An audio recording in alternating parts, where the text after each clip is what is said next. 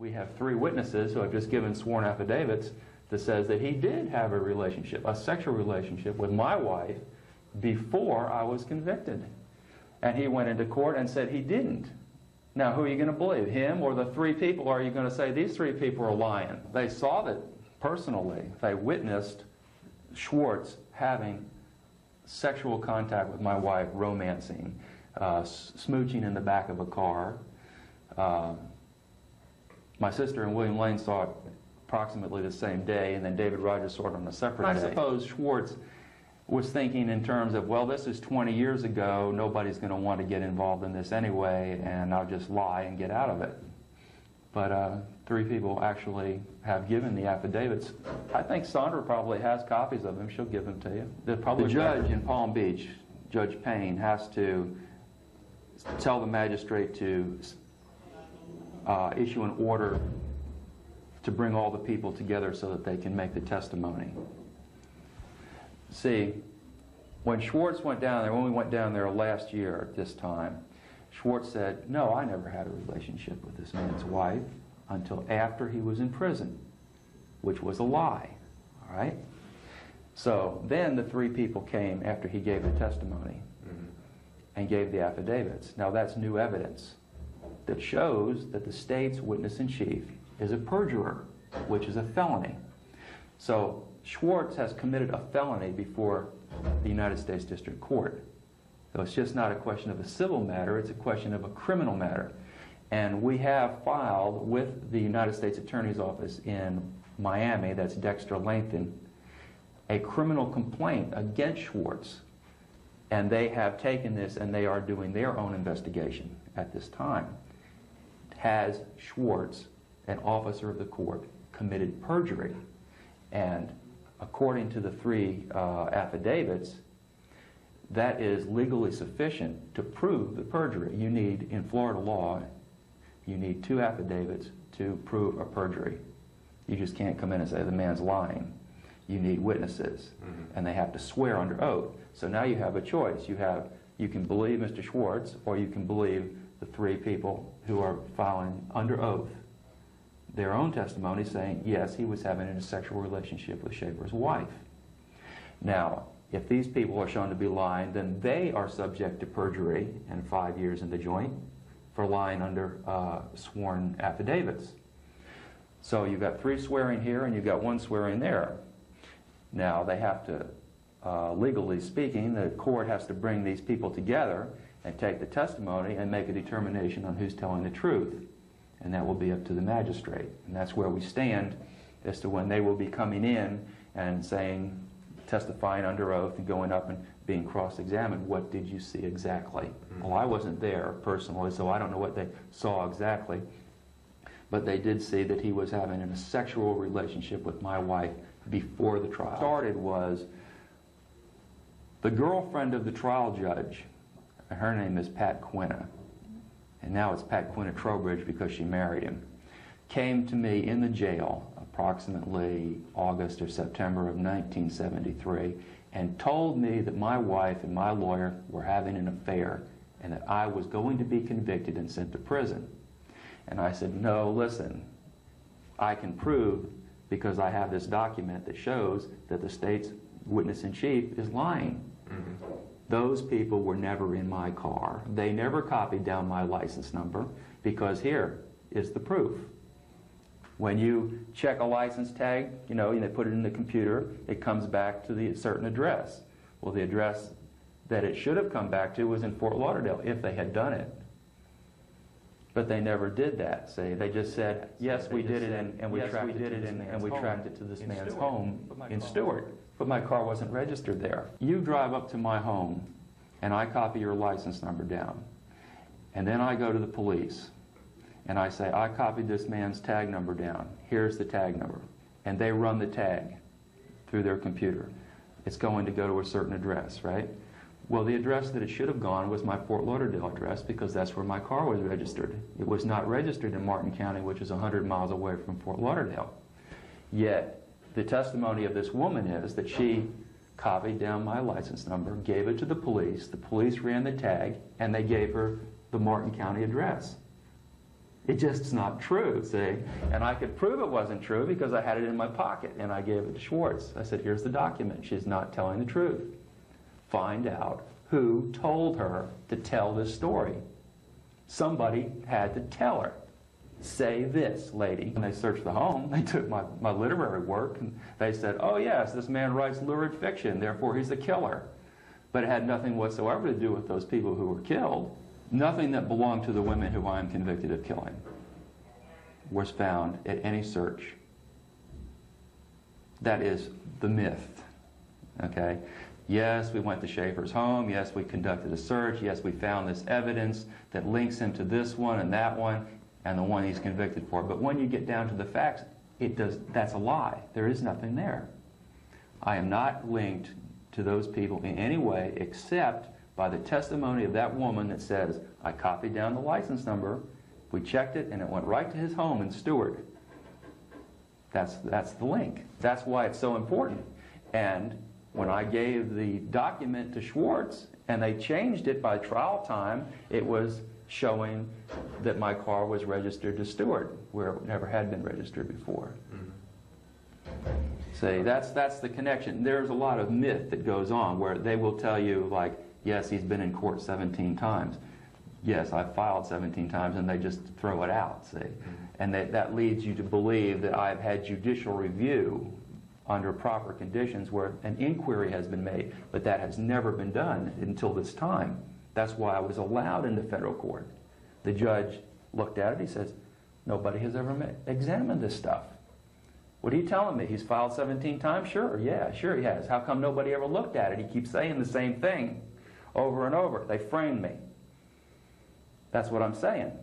And it was through the uh, miscegenations of my trial attorney who asked my wife to marry him right after I was convicted. Are you going to believe that there was nothing going on? That I was convicted and the same day I was convicted, hey, let's get married, Mrs. Schaefer. There was no romance? Come on, man, you know, give me a break, right? And then didn't tell me, oh, and she agreed to marry him. The trial attorney asked the wife of the defendant to marry him within 24 hours of the conviction, and she agrees to it, and there's no romance prior to the trial. You know, that's not even rational. You know, nobody does that. And then didn't even tell me about it for six, uh, how long was it? Almost, I guess, eight weeks. Never told me, I asked your wife to marry me, and she agreed to marry me, and uh, the relationship here has changed. You know, I wasn't told for two months that this even was going on after I was convicted, much less before I was It was a good convicted. arrest. The only person who told me about it before I was convicted was, and uh, they were runaways. Everything was on, everything was proper and done according to the book, except I wanted to give them a scare. They laughed. They thought it was a joke. Well, according, because of the Son of Sam law, I'm not allowed to discuss that with the media. Eventually, I, I made a legal, a legal arrest, and I abused the prisoners. They were not raped or sexually assaulted or anything like that. I told them that they were leaving themselves open to be murdered, uh, abused, and all that, running away with no money, no visible means of support. What are you going to do? How are you going to make a living? And they just laughed. You know, you're going to sell drugs, you're going to sell pussy. What are you going to do? You got to put, put food in your mouth. And I said, well, they, ha, ha, ha, ha, you know, we'll just get along. I said, yeah, you'll get along. You'll wind up in a ditch, you know, in my jurisdiction, and then I'll have to pick up the pieces. And I'll say, show you how easy it would be, you know. Here you are under arrest. I know a guy who'll buy a young girl. Hell, uh, I know five or six of them that would buy a young girl and make her, make her into a whore. I mean, this is nothing new. Oh, yeah, ha, ha, ha, ha. You think it's so funny? Well, we'll just tie you over here to this tree, and we'll tie you over to this tree, and I'll leave, and I'll bring somebody back and sell you. Well, I didn't. I, did, I tied them to the tree, but uh, I didn't go and get anybody and sell them. I just wanted to give them a scare. And of course, that was wrong. I shouldn't have done that. I was trying to impress on them the dangerousness of their situation, running around. They were nice kids, you know. I didn't want to see them end up in a ditch. And I was wrong, and I paid the price. And I pleaded guilty. I felt guilty. I gave them each a written apology. What else can I do, you know? if I did something to you and I hurt you and, and caused you pain, then I have to say, if I'm wrong, I'm sorry I did it. And I am sorry, and I was sorry, and I apologized. I pled guilty, and that was the end of it. I fought. it's never, it's never the end of That's it. while you were working in which job? I was a, a deputy with Martin County when that happened. But see, they tried to distort that. They tried to say, well, that wasn't a legal arrest, and it was. It was a legal arrest. In fact, they sued. Do you want to wait? Okay. They sued the county for the, uh, I, I haven't seen a copy of the suit, but they did win a judgment against the county for what I did, which was abuse them while they were in my custody, legally in my custody. Not I picked them up and drove them to a remote area and tried to rape them or anything like that often gets distorted, you know. No, because I, they, I had a responsibility to make sure that they were safe and taken, taken to the, uh, the jail and processed properly and returned to their parents. And when I made the arrest, it was my responsibility to make sure from, the, from point A to point B to the jail and nothing in between. And I fucked it up. I blew it. You know, it happens, right? and uh, because of that, I've suffered enormously. I lost my career, went to jail, got a felony on my record, but there was no evil intent. The intent was to impress on them that they could end up dead, which was true. You know, they suffered no physical harm. It was an emotional intimidation type of a thing. And it gave them a good scare, no doubt about that. But it was valid. Wrong, wrong. I'm not saying what I did was right, but they were valid. I bet you they don't hitchhike anymore. Well, of course, the sheriff, when, when I called my superior and I said, I have the two prisoners and they've run away, right? And they're in handcuffs, we just got to go out and get them. And they told, then they told my uh, superior what the circumstances were. Then he called the sheriff and the sheriff said, whoa, this is, you know, you're way over the line here, Jack. And uh, I said, yeah, I guess I am. And that's when I was charged with aggravated assault, which is assault without intent to kill or inflict serious bodily harm.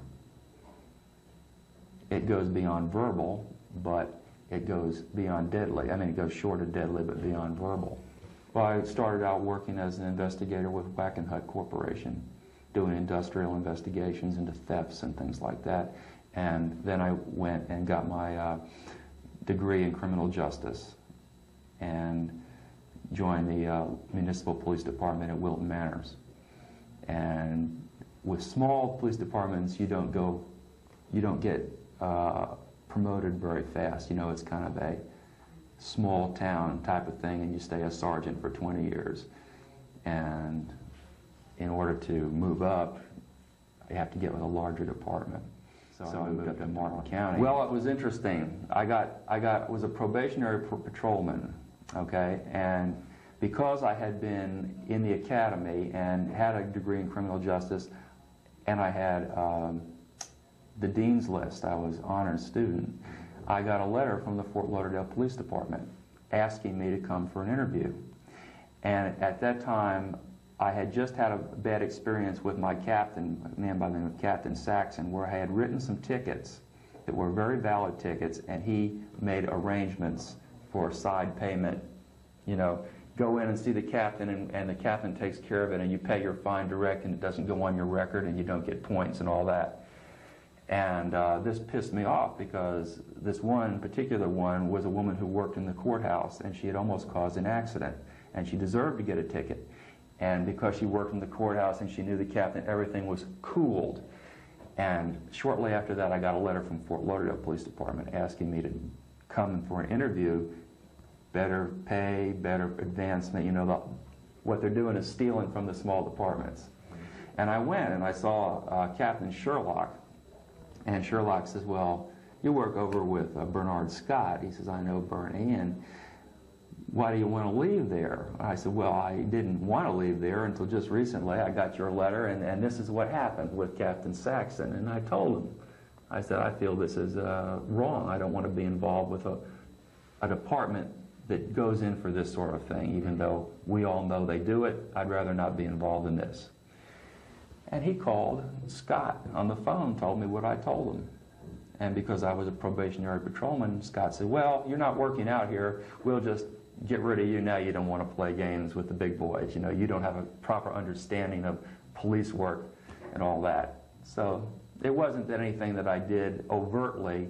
It was just trying to get up, get around becoming involved in small town corruption mm-hmm. is and it's the kind of thing that goes on in Georgia a lot, I imagine, with the speed traps and all that, where you go through a little town and they give you a ticket and you go in and you see the chief and you pay in cash and you're on your way. That happens in Georgia, I understand a lot. Florida too.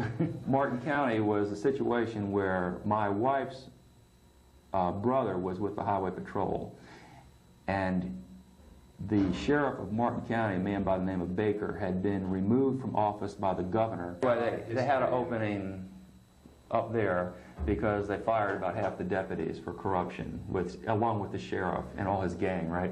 And the uh, governor appointed a new man by the name of Crowder as the sheriff, and he had a desperate need for people. And uh, Henry Dean said, "Well, my brother-in-law just left Wilton Manors, You know, he didn't want to get involved in this corruption. Why don't you go up and hire on with Martin County. So my wife got a transfer her job with Florida Power and Light, and I went up and got the job. Psychological, um, thought I'm perfectly healthy, mentally healthy, and normal in every way. There's nothing wrong with me except my environment. You know, living in a prison environment causes a lot of stress. But I've done Minnesota multiphasic personality inventory and uh, all the ones they give you. And the most recent one was in uh, 1990, and I'm uh, mentally emotionally healthy and psychologically healthy. I have a Psych 1, which is the best you can have. No problems whatsoever. And haven't had any since I've been in. But Sandra can give you a copy of the report by Francis Miller. Chamblee is where uh, I, I live in Nashville, but is where uh, I, I lived in Nashville, but we moved to Georgia. You lived in Sexton Woods, which is off of Peach, Peachtree, I guess, the big street. And I went to Sexton Woods Elementary School. And then I went to Our Lady of the Assumption. And then I went to Marist for uh, the beginning of my first year of high school, but then we moved to Florida. But uh, you know, I grew up in the Catholic in the Catholic school in uh, Assumption and uh, played league ball with the Catholic League in Atlanta in 1958, 59, and 60 and would have gone to Marist Military School with all the other guys from Assumption. They either went to Pius X or Marist. That's all you went to. And uh, then we moved down here, and I went to the Catholic school. Did all the normal things, uh, mostly sports. You know, the Catholics are uh, Catholics are very big on sports. You know, ba uh, basketball and football, especially in the Catholic League. I don't know what it's like now in Atlanta, but back then it was you had the private school circuit. Where all the different private schools had their own league, and we played Westminster and uh, all the different, you know, private Catholic schools and private uh, Christian schools.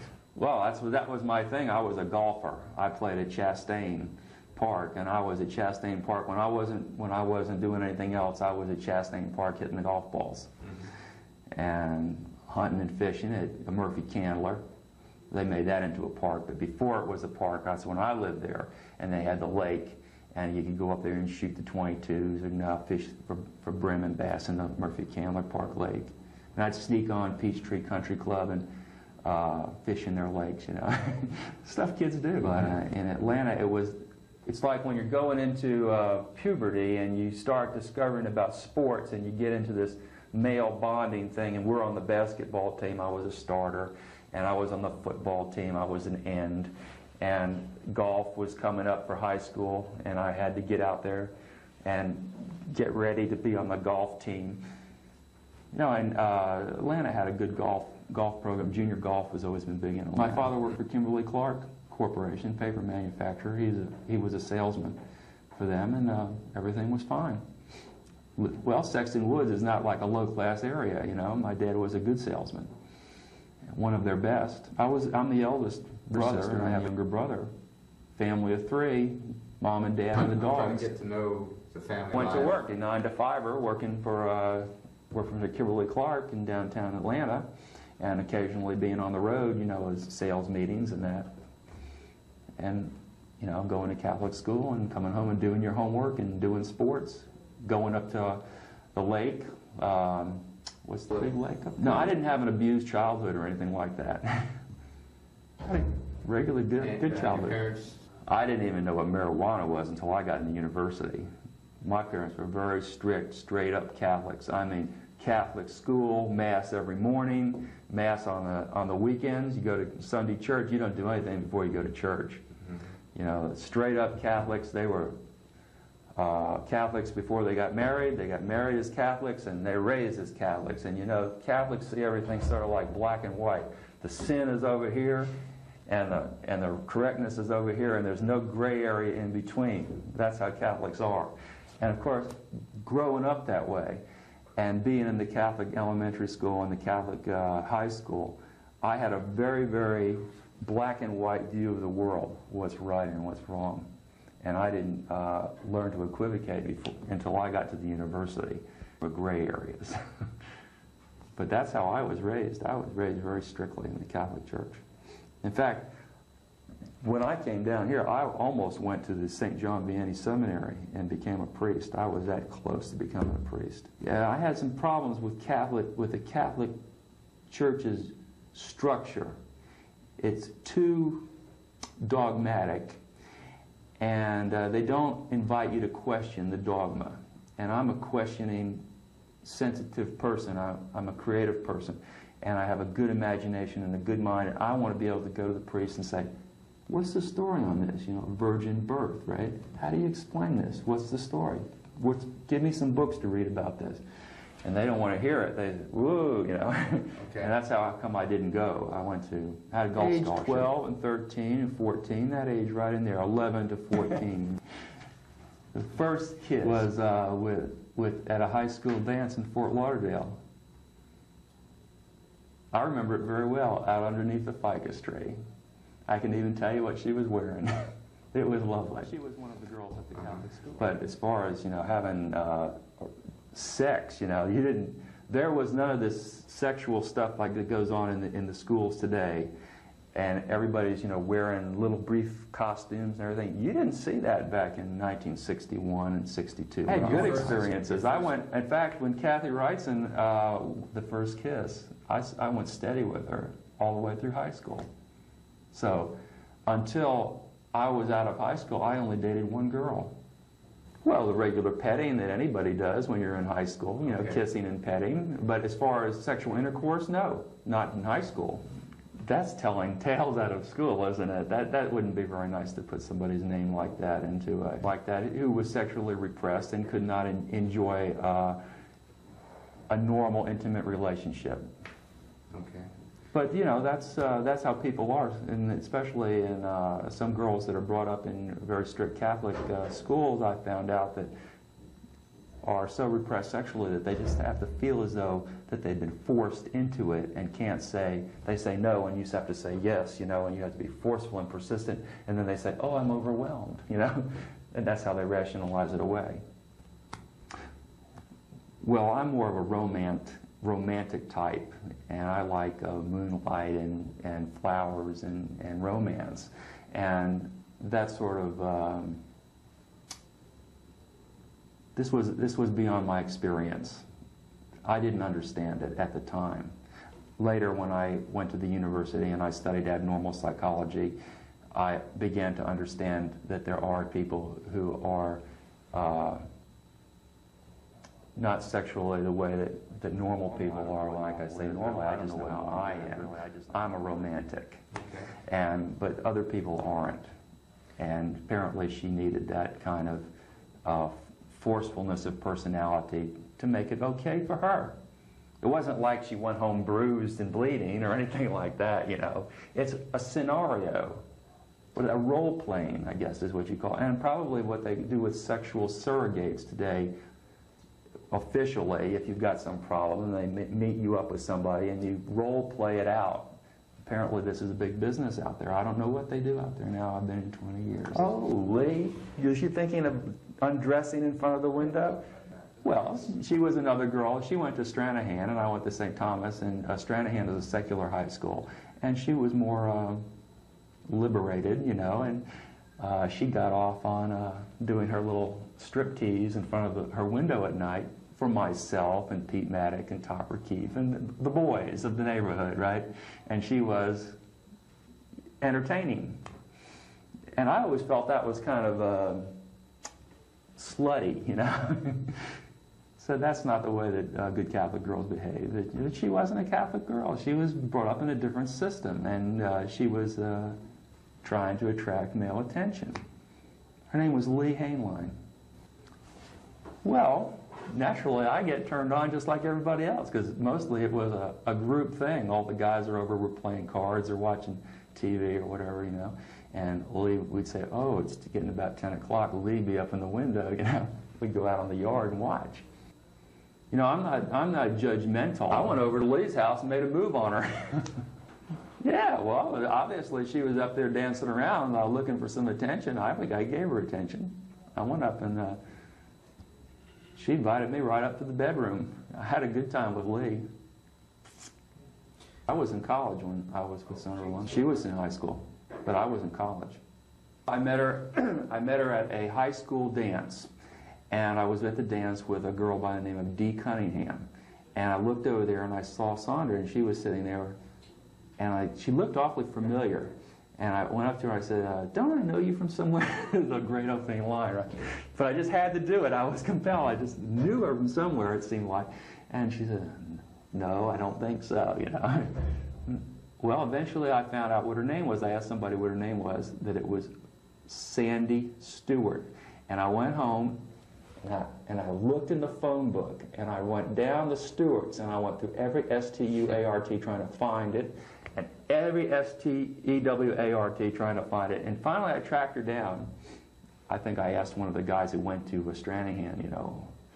But uh, I called her up and I got a date, man. You know, I'm not bashful. If I like them, I call them up and say, let's go out. And that's what I did with her. And we hit it off very well. And uh, we went steady for about a year. A lovely relationship. That's right. Around the end of 65, maybe September or so, because she was going off to New College, and I was staying at the college where I went here in, in Florida. New College is on the other side of the state. So we broke it off. No, she was going away to school, and uh, there's no, you can't go steady when somebody's in uh, Tampa and you're in Fort Lauderdale. It was very amicable. It's that we had a great time together, and it's time to move on. Uh, you know, complicate things by trying to remain steadies, but there was no animosity or anything like that. I was hurt naturally, you know, because I take a much deeper interest in my relationships. Sandy's uh, she's uh, flighty and superficial in her relationships, and she moves around, bounces around from one to another, whereas I'm a one-man, uh, one-woman type of person because that's the way that I was raised and trained in the Catholic Church. I always blame it on the Catholic Church, just like Frank Zappa and every other Catholic guy that gets hooked into this one-man relationship. He said, "Yeah, I've got to blame it on the nuns and the priests because that's what they taught us."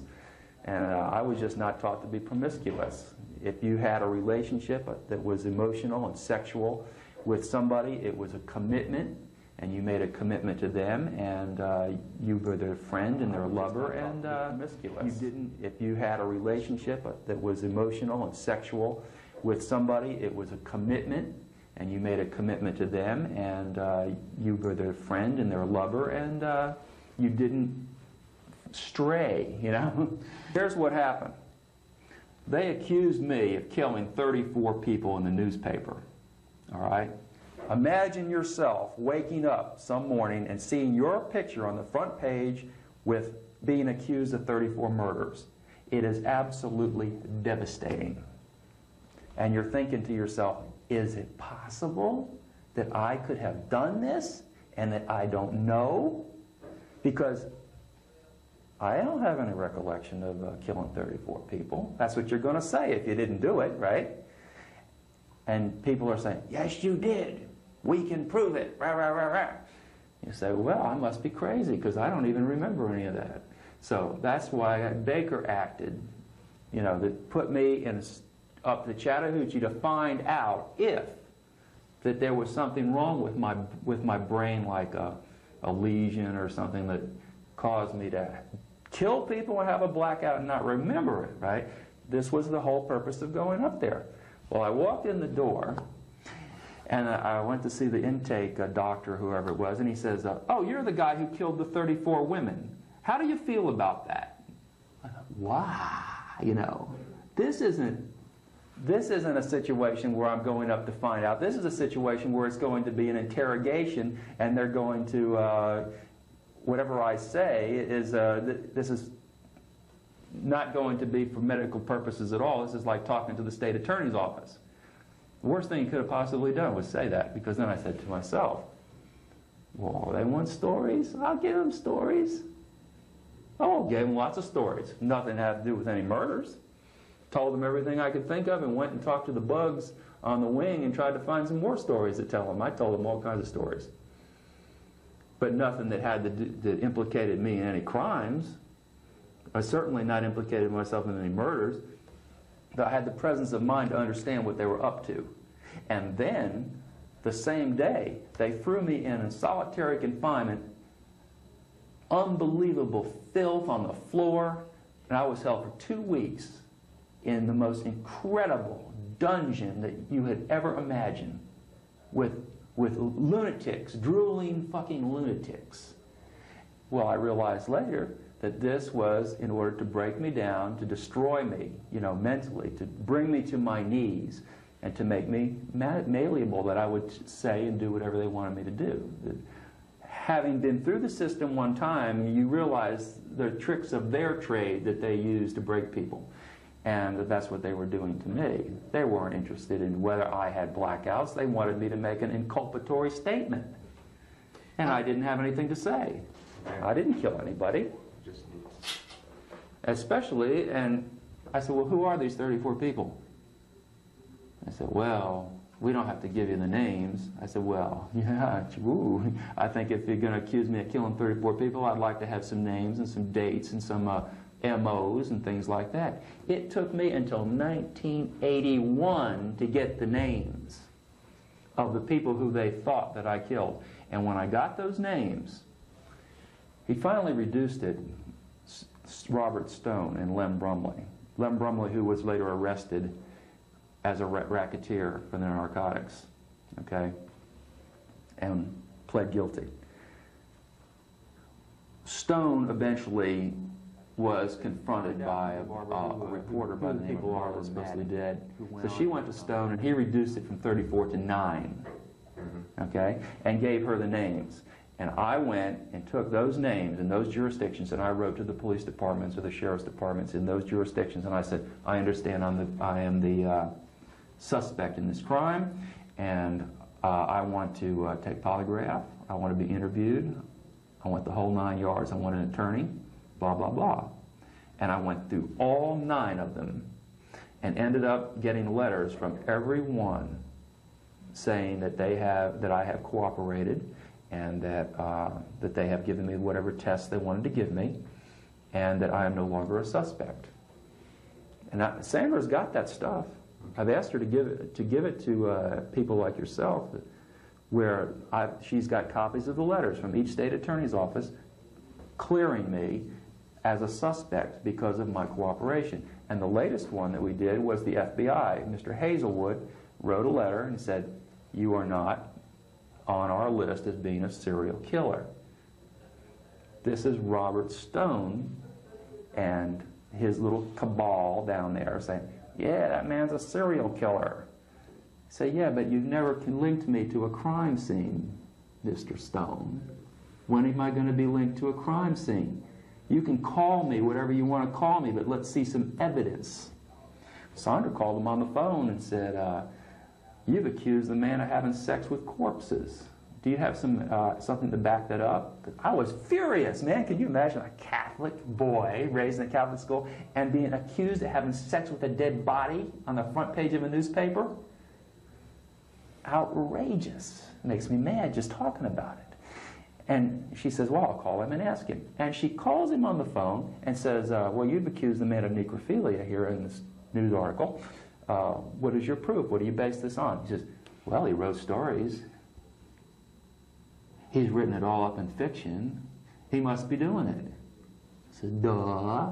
That's supposed to be the evidence. My book is supposed to be the evidence. I'm Claim. You see, this this is Sandra again. Here's how. Here's what Sandra is interested in making money. Okay, that's her primary motive in life is generating money for her. When she wrote to me, her, her, she was not interested in me. How are you doing? Gee, it's been a long time. Would you like to get back together again? It's, do you still write those stories? Because I was writing back in 1965. In fact, my instructor in 1965 was Harry. Here I'm telling you the pitch. So when I find out that Sandra wants to make money, I say, yeah, I write it. And boy, do I ever, you know, and killer fiction shows that I'm a writer. All right? And then she says, well, what if, the same question you're giving me, what if you uh, never get out? Rah, rah, rah, you know? I said, well, we'll just write up a story like uh, Donald Evans would just say, yeah, everything they said is true. I killed 34. We'll write it up as first person account. I said, boy, you can make a lot of money selling that, and it won't make any difference because I won't be able to get it getting out anyway, see? And that's where that's coming from. All that is is a, a, a business decision, more or less. There's no evidence I killed anybody. And then she started coming on with uh, this thing from uh, framed me for Zebra murder. Mr. They Schwartz. framed me for murder. Framed me. Mr. Schwartz Framed me. to get my wife, and he did this with the with the assistance of Mr. Stone. And Bruce Colton, who is the state attorney, he is well aware of it. Oh, I was I was guilty of that. What can I say? You know, I went in. I there was no trying to wiggle out of that. I I, I didn't. Just a little bit too many Dirty Harry movies for me. You know, you get you get you get to see this stuff on TV and they do all this weird stuff, and then you do it in real life. It isn't like that at all. Of course, there was a trunk. There was two trunks. It was filled up with my literary work. They hundreds and hundreds, ten years worth. Not, I was not there. Okay, I was not there. I have been told that they have found stuff like this. All right. I have asked Sandra. I said, "You go and you see it. Eyeball it." I said, because every time that I have asked to see it, nobody knows anything about it. All right? If you're saying that you found this and that in my house, I have a right to see it. Don't I have a right to see it? Produce it. I deny that it exists. I'm not denying they say that they found this stuff, and I'm sure that they found jewelry in my in my house because they went and they searched my sister's bedroom. And they took the jewelry out of my sister's bedroom, not out of my bedroom and not out of my trunk, out of my sister's jewelry box, out of my sister's drawers. My, my brother's girlfriend, Sandra Moses, they took, they, they took her clothes and they said, We found the clothes of women. It belonged to Sandy Moses. You know? It was stuff that, that, that, that Sandy said, Oh, that's mine. You know, but Your sister. No, Sandy Moses was my, my brother's girlfriend. Okay? They go, here, they've got a list, a search warrant. They've got certain things on the search warrant they're looking for. They didn't find anything that was on the warrant that they were looking for. They took thousands of items out of the home. They just went in, "Mm, we'll take this, we'll take clothes, we'll take jewelry. Look, look at this. This is uh, stories. We'll take these stories, we'll take these guns. Wow, this is no way to do a search warrant. This is a this is a what they call home invasion under color of state law, you know? There's laws against this kind of thing. You want to be a cop? You want to go in and look for something that belongs to Susan Place? Fine. Go and look. If you find something that belongs to Susan Place, take it. But don't take everything that's ever been belonged to my family and say, and not only my family, but all the guys that spent the night with my with me, you know, uh, as as young kids, and all the girls that spent the night with my sister and had their parties, and all the people who have been in that house for 10, 15, 20 years, and left junk laying around and say, "Oh yeah, well this belongs to uh, this one, we'll, we'll, he's got." Oh, it just makes me so mad because. When they say that they found all this stuff in my home, they didn't find it in my home. They found it at my mother's home. Okay? That's- and I've never seen it. All right? Saying they keep adding stuff, and I keep taking the Sandra. I said, "Look, they say they've got this and they've got that. Go down to Broward County Sheriff's Department because that's who did the search." And I said, "Ask to see it." I know lots of serial killers in here, and I don't know of any of them that are denying it. The latest one, Donald Evans, he can't shut him up. He's got, he's got, Ev- Evans got, got bodies all over taking people on tours. Ted Bundy was the same way, the closer he got to the, to the chair, and he wasn't denying it, except officially he was denying it. But when he was talking to, to, to people like myself, and to psychologists, and to writers, he wasn't denying it. He was just saying, hey, I got a thing in court. I can't go ahead and admit this and, because of my court thing. Jerry Stano was the same way. He's, he took them when he killed 40 women, he took them and showed them the bodies. Bernard Giles, he's another one. He's having sex with the corpses, like Ted Bundy was having sex with the corpses. Caught him with a fucking rotten body right there. He didn't deny anything, he pled guilty. Uh, these guys, Otis Toole, I talked to him this morning. Otis doesn't deny anything. Otis says, yeah. He says, he says Henry Lucas is lying. Henry Lucas and I went out and we killed over 100 people together, and he's trying to say that, no, that it never happened. It happened. Otis doesn't deny anything. Otis says, yeah. He says, he says Henry Lucas is lying. Henry Lucas and I went out and we killed over 100 people together, and he's trying to say that, no, that it never happened. It happened. I admit it happened. Be in prison from 27 years old until you're 75 years old and then go on the street, forget it. You know, no, I don't want to deal with the stress. That's my personal, I would, I would not take it. I make a life for myself in here. I, I do make a life for myself in here. I do the best I can with what I've got. And uh, don't- you're not going to put me back on the street in 2016 because I ain't going. and that's, that's the reality of that. It's a- Yeah, big deal. What am I going to do? How am I going to make a living? You know, live under a bridge with the rest of the homeless people? You know, I read the paper. No, not for me. I got a nice little cell. I got a bed. I got coffee. I don't have very many needs. Uh, as long as I've got books and I have access to a library, I will be intellectually stimulated. And I don't want to leave. Not, not at 2016. Now you come in tomorrow and say, hey, I still have a chance at 45 years old to make something out of my life. And I have told those cops and the state attorneys and everybody else, I said, connect me to any crime, any murder, anywhere, and convince me that I'm involved in and I'll plead guilty.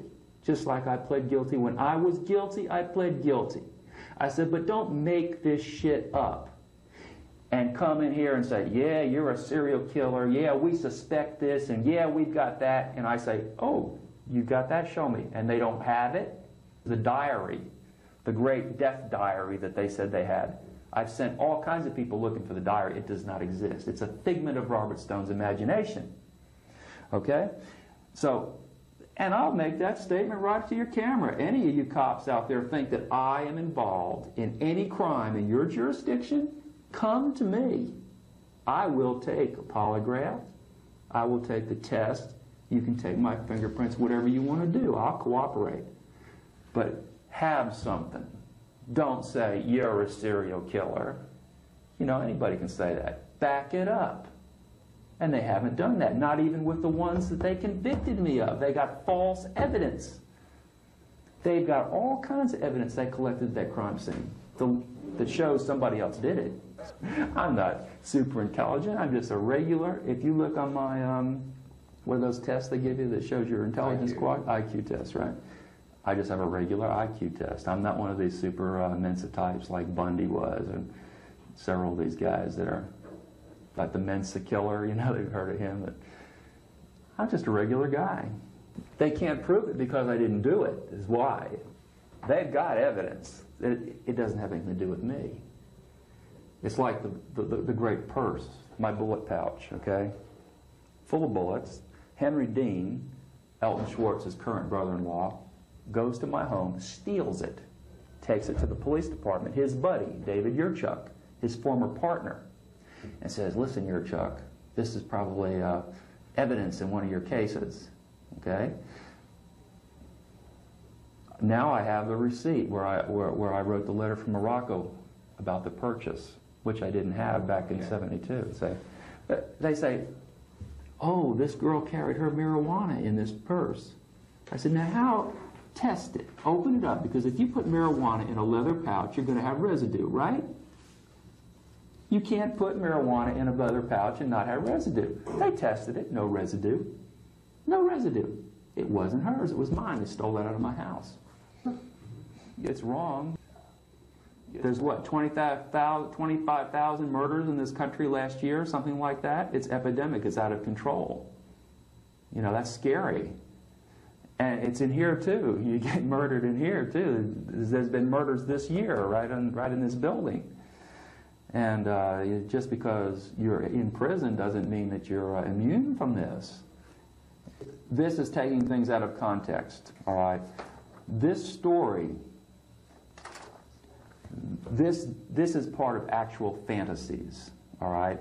Now, what, they, what this was, when, I was in high school, there was a man by the name of Herschel Gordon Lewis who made films, and he made a film called Blood Feast. And I was very taken with Blood Feast. And I thought, it's so campy.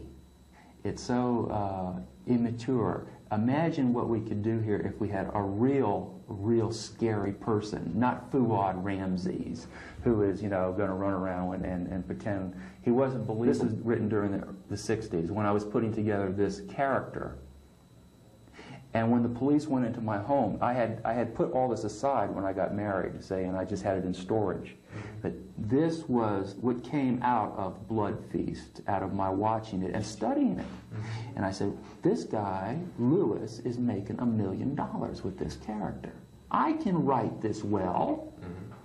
And I said, I started putting it together. This took years. and this just wasn't, I just did it in one day. This was a product of years. Now, there were all parts. There was a, there was a pile of paper that high that had to do with this, this area right here, that I did exhaustive studies, like on Ed Gein, sexual fantasies, and this is the first part of it, murder plan, okay? And I haven't even seen this, actually. I've never seen this. Joe Bob Briggs also thinks this is really interesting, too, you know? The, uh, the, the nationally syndicated columnist that does horror, horror film, uh, no, drive-in, Joe Bob Briggs at the drive-in. You've never seen that? Well, you're not obviously not into horror. But what, I, what I'm telling you is that when you go and take a man's rough drafts, this is, when you do a work, and this was to be a work, the ghoul, the person, all right, is a, is a commodity. He is a scary character. And when you read this, you get scared by the time you get to the end. You say, wow, is this a real guy? What, this guy could be around, you know, like that. Because this is what's really scary. King Kong isn't scary. Fuad Ramses isn't scary. This is scary. Okay? Now, they went and they took these rough drafts and they stole it. Okay? What they got is they took, oh, this looks good. This looks like it might be inculpatory to make him look like a serial killer. So we'll keep this one over here and we'll throw this part away. So by the time by the time the police got done with it, you got a piece over here, murder plan, which is nothing more than a little scenario. This is just a sketch to build something on. Sexual And I'm going to read this, and by the time I get it read and you get it cut, you're going to it'll be turning into a uh, a confession type of thing, is what it gets turned into. Reading his work in in a, uh, a setting where people understand that this is a reading, like a poetry reading or something. That's one thing, but so many people have said, "We think you're a killer because of that graphic stuff that you write." People have said this to me. They said, How can you write this kind of stuff and not be a killer? I said, Well, you do it by research, you do it by concentration, you do it by creativity. I said, You do it the same way that everybody else who writes graphic murder stuff does it. You work at it.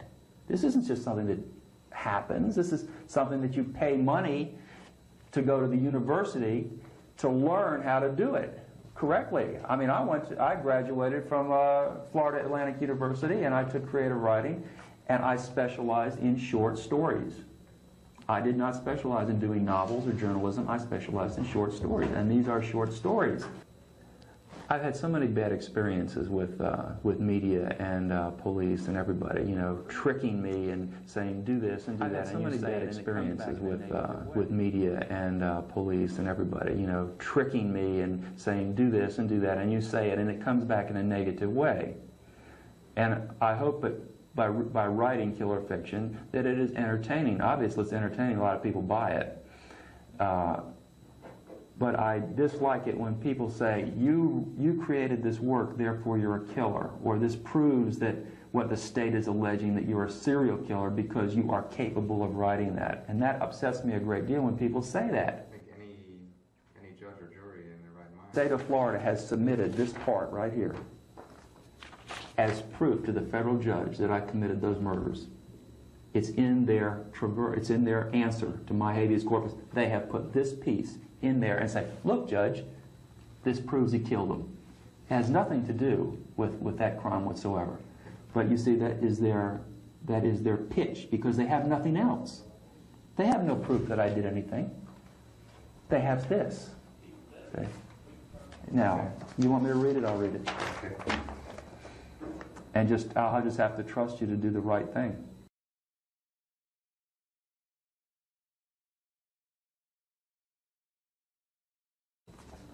It's something that needs to be said, you know, this is an ongoing thing, and I, and I I don't think that there's ever been a case like this in the entire judicial history of this country.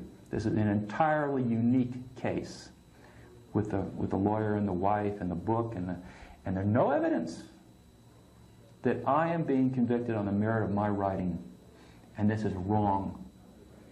If you've got something, if they've got anything right now, bring it and I'll plead guilty. But don't say because I went to school and I learned how to do this and do it excellently, not half-assed. Not Herschel Gordon Lewis Fuad Ramses. This is the real thing, man. This is really scary. This is as good as anything Stephen King can put together. And I'm not doing it with vampires. I'm doing it with real live people that are walking around and you want to look. Oh boy, is they coming or not? You know? Let me see. Uh, that's Sandra. Not sending me. She should be sending me copies of this stuff if she's putting this together. All right, this deals with um, into the mind, uh, the, into the mind of the ghoul. Now, the ghoul is the is the character that I created that was based on Fuad Ramses, written by uh, Herschel Gordon Lewis, and uh, essentially this character is a human monster, but he's a very believable human monster, and he he functions very well in society, but when the moon is right, this the creature, the beast, comes out, and this was an attempt into the mind of the ghoul was an attempt by me as an artist after reading about such people, real people, was an attempt by me to put together a mental picture of what this character would be like if that's, under, if that's understandable. I wanted to have a mental profile of my character. And that's why by the time you get to Paroline Road, you can see where this part is way down here on the left. Paroline Road is like a, uh, a culmination of how that mental process is, he He's deteriorated into such a state as he is capable of doing the atrocities that are brought out in uh, Paroline Road. Now, uh, let's see, this part deals with uh, picking up a woman in a bar, I think. Okay. Uh, the woman is by this time very frightened. This is good because the more frightened she is, the greater the thrill for me. I tell her to strip, but I let her leave her underwear on. I tie her to a branch and gag her if she is too noisy while I go about the business at hand. And then I'm skipping to uh, another part, so there's a, a break here. I arrange the rope and the noose, and I dress the woman in the white shroud, place the pillowcase over her head, and then, if I feel like it, sit down and entertain her with a bit of my conversation. Terrorize her. give her my ideas on what she will look like while she's hanging there, fighting the rope that is slowly choking the life out of her. Make it as real as possible for her so that she is petrified with fear. Make her know that she is going to die. The noose is arranged so that she will strangle slowly, and she sits on a board between two limbs with a long rope leading off into the jungle. When it is time, I will go off into the jungle and pull the rope, and she will hang. Then I will go home and have something to eat, and bright and early the next morning I will be out hunting. I will find the body hanging from the tree, and only then will I really notice it, maybe fondle it, and maybe even have coitus with it. I will notice the expression on the face, position of the body, explore every nick and cranny of her, perhaps mutilate her and delight in the smell of any urine or excrement that she may have passed while hanging there. I leave and then return, so it will be unbelievable to myself that I did the deed. I will not be able to remember doing it. Funny, isn't it? It's the deniability part and all that, which is based on serial killer studies. You can see that I am that I'm putting together a serial killer person from a serial killer profile. It fits perfectly. But all of that is is research. I mean, that's going to the library and spending time studying uh, books about criminal mentality. Well, I think it's very valid. What's written is valid. And uh, the more they learn about serial killers, the more they see that this, this fits a lot of uh, what people do, especially the part that you mentioned about the deniability, right? This is pure Giles, Bernard Giles, when he would go out and kill them, then leave and come back and, and screw the corpse. I'm sorry that people take it in a way that they feel that this is an expression of reality. This is fiction. This is make believe. It's designed to scare you. Okay? So I'm sorry that I wrote it and that people have misinterpreted what has been written and trying to say, no, this is not fiction, this is reality. Because it's not reality, it's fiction. And it's just as valid fiction as anybody else who writes good, scary stuff. That's scary.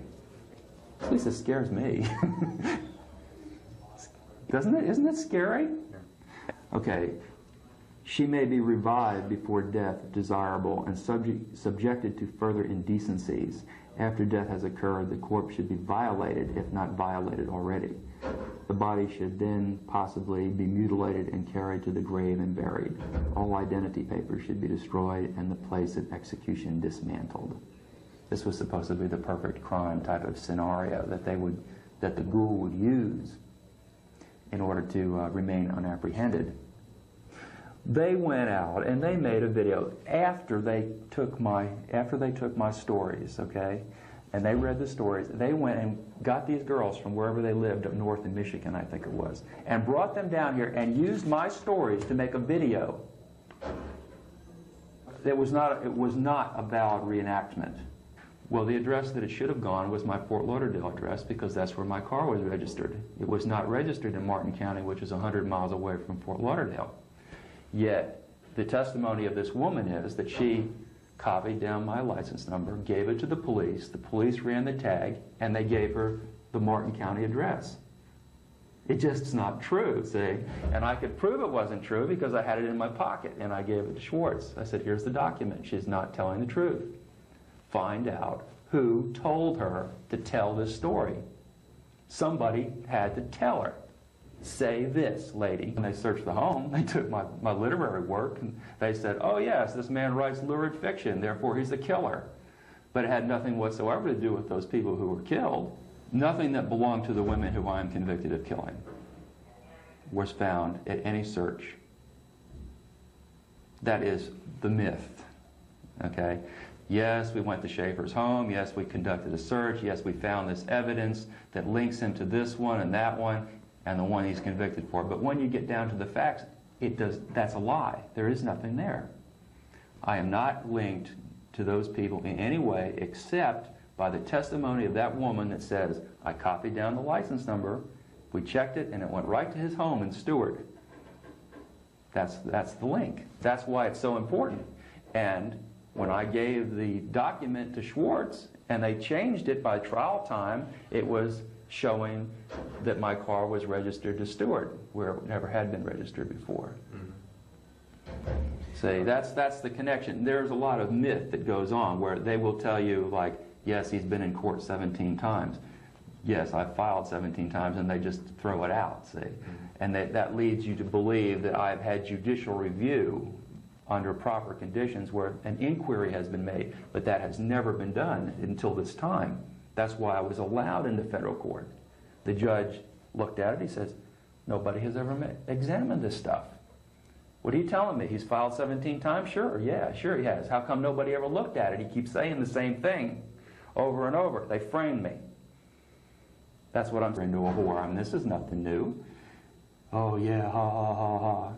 You think it's so funny? Well, we'll just tie you over here to this tree, and we'll tie you over to this tree, and I'll leave, and I'll bring somebody back and sell you. Well, I didn't. I, did, I tied them to the tree, but uh, I didn't go and get anybody and sell them. I just wanted to give them a scare. And of course, that was wrong. I shouldn't have done that. I was trying to impress on them the dangerousness of their situation, running around. They were nice kids, you know. I didn't want to see them end up in a ditch. And I was wrong, and I paid the price. And I pleaded guilty. I felt guilty. I gave them each a written apology. What else can I do, you know?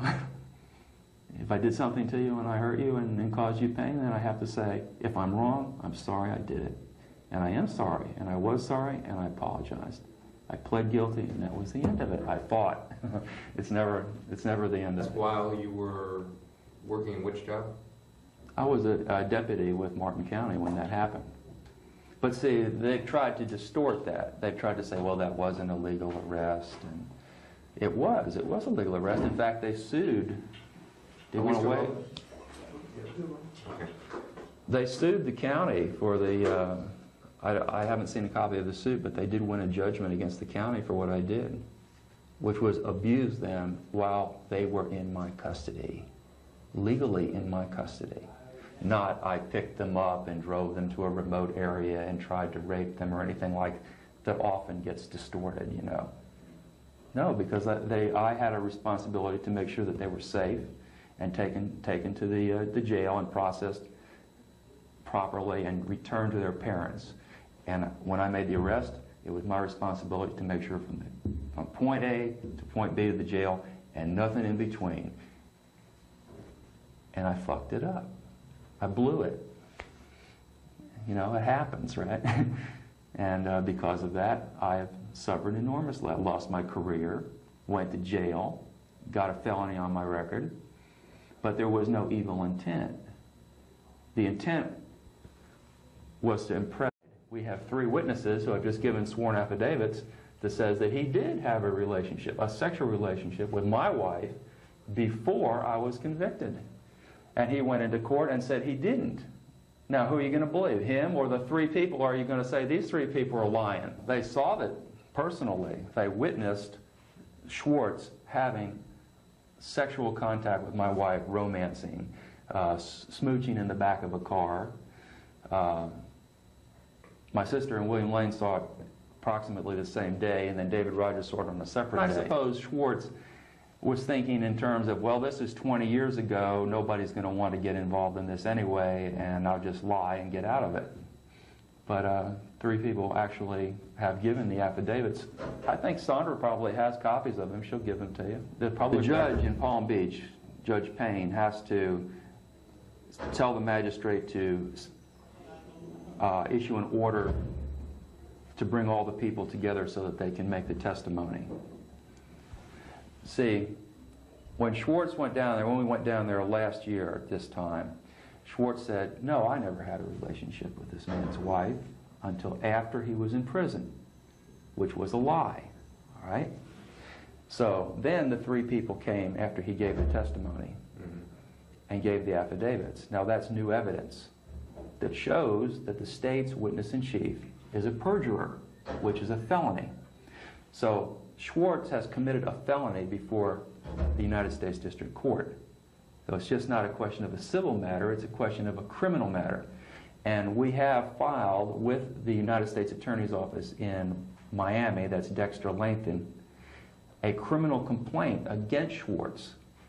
And they have taken this and they are doing their own investigation at this time. Has Schwartz, an officer of the court, committed perjury? And according to the three uh, affidavits, that is legally sufficient to prove the perjury. You need, in Florida law, you need two affidavits to prove a perjury. You just can't come in and say the man's lying.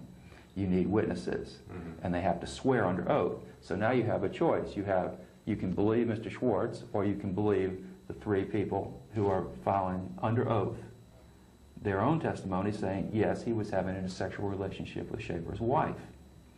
Now, if these people are shown to be lying, then they are subject to perjury and five years in the joint for lying under uh, sworn affidavits. So you've got three swearing here and you've got one swearing there. Now, they have to, uh, legally speaking, the court has to bring these people together and take the testimony and make a determination on who's telling the truth.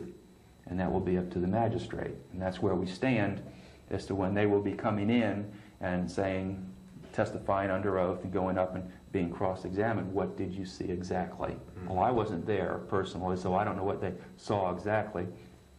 But they did see that he was having a sexual relationship with my wife before the trial. Started was the girlfriend of the trial judge, her name is Pat Quinna, and now it's Pat Quinna Trowbridge because she married him, came to me in the jail approximately August or September of 1973 and told me that my wife and my lawyer were having an affair and that I was going to be convicted and sent to prison.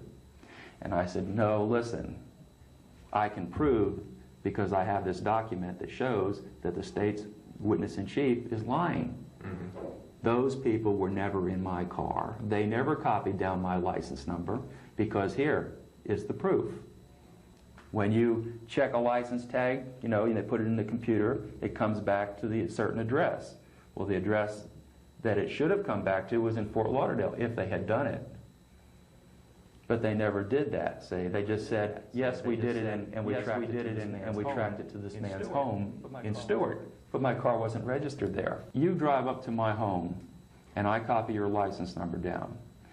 And then I go to the police and I say, I copied this man's tag number down. Here's the tag number. And they run the tag through their computer. It's going to go to a certain address, right? Saying.